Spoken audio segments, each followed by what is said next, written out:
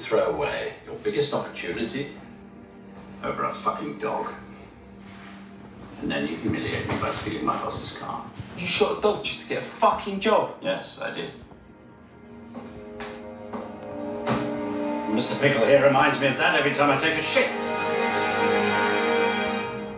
You shot your dog and had it stuffed.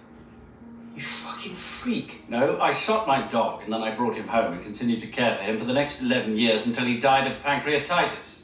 What? It was a blank, Eggsy. It was a fucking blank. Remember Amelia? Yeah. She didn't drown. She works in our tech department in Berlin. She's fine. Limits must be tested. But Kingsman only condones the risking of a life to save another. My my dad saved your life even though your fuck up cost his. What have you got him stuffed here and all?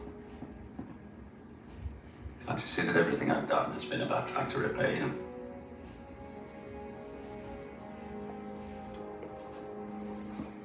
Harry, listen to this. Valentine's at last saying something of note. You know what I love about pen and paper?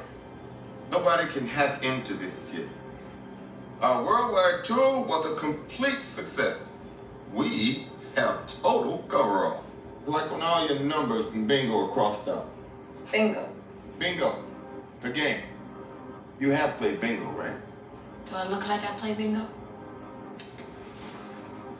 Point is, if our tests go well at the church tomorrow, we are good to go.